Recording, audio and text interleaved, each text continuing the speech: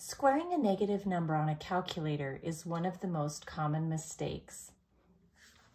If you enter negative 3 squared into the calculator, thinking that you're asking the calculator to take negative 3 times negative 3, you'll be surprised when I hit enter and the calculator gives me negative 9 we know that negative 3 multiplied by negative 3 is positive 9.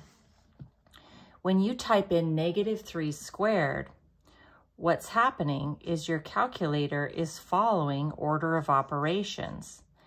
It sees that as negative 1 multiplied by 3 squared, exponents first, 3 times 3 is 9, and then negative 1 multiplied by 9 is negative 9.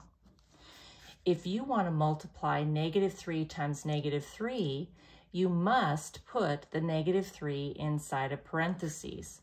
So notice if I put parentheses, negative 3 to the second power, my calculator will give me positive 9 because the calculator is multiplying negative 3 times negative 3 and getting positive 9.